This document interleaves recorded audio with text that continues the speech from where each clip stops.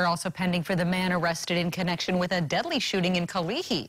Leri Robert turned himself in yesterday. He now faces charges of murder and attempted murder.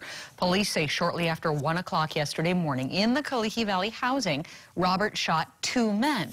One was shot in the leg and refused treatment. The other was taken to the hospital in critical condition where he died.